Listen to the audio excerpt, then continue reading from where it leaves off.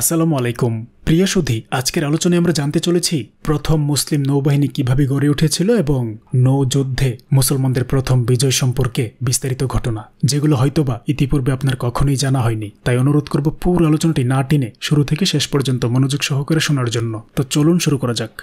মক্কার কুরেশদের অত্যাচার থেকে বাঁচতে আবিসিনেই হিজরত করে সাহাবিদের একটি দল। এটি ছিল ইসলামের ইতিহাসে প্রথম নৌ অভিযান। এই অভিযান ছিল সম্পূর্ণ অসামরিক।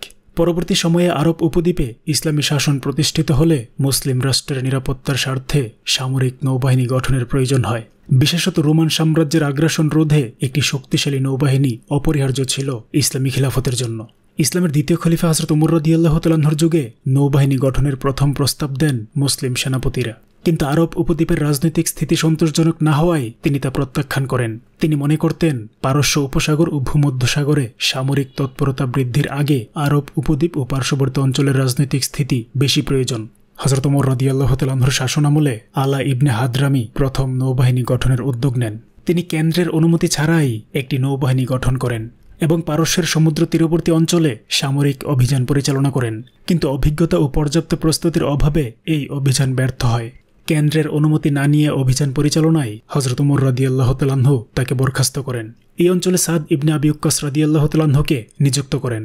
এ সময় সিরিয়া ও পশ্চিম জর্দানের গভর্নর ছিলেন মোয়াবিয়া রাদিয়াল্লাহ তালাহ তিনি রোমান সাম্রাজ্যের আগ্রাসনের আশঙ্কার কথা জানিয়ে নৌবাহিনী গঠনের অনুমতি চান, কিন্তু উমর রাদিয়াল্লাহ তালাহ তার প্রস্তাব নাকচ করেন। ডক্টর আলী রোশান বলেন, উমর রাদিয়াল্লাহ তালাহর যুগে মুসলিম সীমান্ত মিশর পারস্য ও সিরিয়ার বিস্তৃত অঞ্চল পর্যন্ত দীর্ঘায়িত হয়। এই বিশাল সীমানা সংরক্ষণ করতে মুসলিম বাহিনী হিমশিম খাচ্ছিল। তাই তিনি সমুদ্রে নতুন যুদ্ধক্ষেত্র খুলতে সম্মত হননি। এটা ছিল উমর রাদিয়াল্লাহ তালাহর রাজনৈতিক দূরদর্শিতার প্রমাণ। উমর রাদিয়াল্লাহ তালাহুর পর উসমান রাদিয়াল্লাহ তালাহু মুসলিম বিশ্বের খলিফা হলে মোয়াবিয়া রাদিয়াল্লাহ তালাহু আবারও নৌবাহিনী গঠনের অনুমতি চান। এরই মধ্যে রোমান সেনাপতি ম্যানুয়েলের নেতৃত্বে মিশরের আলেকজান্দ্রিয়ায় হামলা ও ব্যাপক হত্যাযজ্ঞ চালানো হয়। ফলে ইসলামী খেলাফতের নৌসীমা সংরক্ষণে নৌবাহিনী গঠনের দাবি আরও জোরালো হয়। তিনি প্রতিরক্ষামূলক বাহিনী গঠনের অনুমতি দেন। অনুমতি পেয়ে মোয়াবিয়া রাদিয়াল্লাহ পূর্ণ উদ্যমে নৌবাহিনী গঠনে পূর্ণ মনোযোগ দেন। অল্প দিনেই একটি শক্তিশালী নৌবাহিনী গঠনে সক্ষম হন। মোয়াবিয়া রাদিয়াল্লাহ নৌবাহিনী গড়ে তুলতে মিশর, শাম ও জর্দানের যুদ্ধ প্রকৌশলী নিয়োগ দেন। তৎকালে জাহাজ নির্মাণ শিল্পে বিশেষভাবে দক্ষতার জন্য জর্দানের উপকূলীয় আঁকা অঞ্চলের মানুষের সুখ্যাতি ছিল। বাইজেন্টাইন সম্রাট এখানে জাহাজ নির্মাণ কেন্দ্র গড়ে তুলেছিলেন। মোয়াবিয়া রাদিয়াল্লাহ জাহাজ নির্মাণের জন্য ওই অঞ্চলকে বেছে নেন। কারাবাসে প্রথম নৌ অভিযানের জন্য তিনি আঁকা থেকে যাত্রা শুরু করেন। এর কিছুদিন পর মিশর ও সিরিয়ায়ও জাহাজ নির্মাণ কেন্দ্র স্থাপিত হয়। ঐতিহাসিক ইবনে ইসহাক বলেন, বাইজেন্টাইন সাম্রাজ্যের হুমকি মোকাবেলায় ইসলামী খিলাফতের নৌবাহিনী গঠনের বিকল্প ছিল না। কেননা মুসলিম সীমান্ত জুড়ে রোমান বাহিনীর তৎপরতা মুসলিম সেনাপতিদের বিচলিত করে তুলছিল। শাম উপকূলেও রোমান বাহিনীর নৈরাজ্য বাড়ছিল দিন দিন।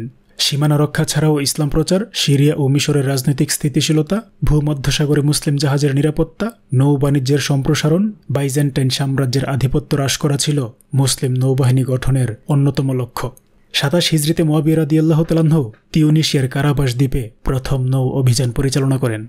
যদিও এই অভিযানের জন্য তিনি বহু আগেই অনুমতি চান, উসমান রাদি আল্লাহ তালাহ এই অভিযানের জন্য কয়েকটি শর্ত দেন। যেমন মোয়াবিয়া রাদি আল্লাহ তালাহ তার স্ত্রীকে সঙ্গে নিয়ে যাবেন।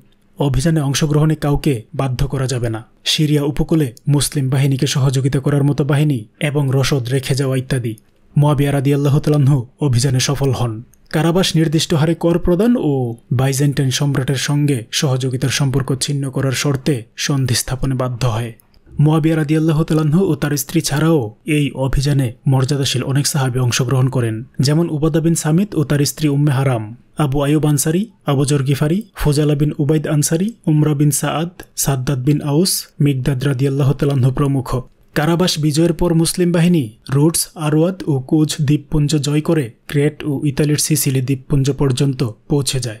ক্রমবর্ধমান মুসলিম নৌশক্তি মোকাবেলার জন্য বাইজেন্টাইন সম্রাট যুদ্ধের সিদ্ধান্ত নেন।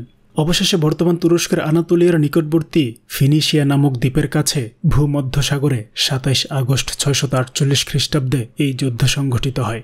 এটাই ছিল মুসলিম ইতিহাসের প্রথম নৌযুদ্ধ। মুসলিম বাহিনীর পক্ষে যুদ্ধে দুই হাজার যুদ্ধজাহাজ অংশ নেয় এবং তাদের নেতৃত্ব দেন আবদুল্লাহ ইবনে আবু সারাহ রহমতুল্লাহি আলাহি অন্যদিকে বাইজেন্টাইন সাম্রাজ্য ও তার মিত্রদের পক্ষে পাঁচ শত যুদ্ধ জাহাজ অংশ নেয়। নেতৃত্ব দেন সম্রাট দ্বিতীয় কনস্টান্টিন। যুদ্ধে চূড়ান্ত বিজয় মুসলিম বাহিনীর হলেও বাইজেন্টাইন বাহিনীর গোলায় তাদের জাহাজগুলো মারাত্মকভাবে ক্ষতিগ্রস্ত হয়।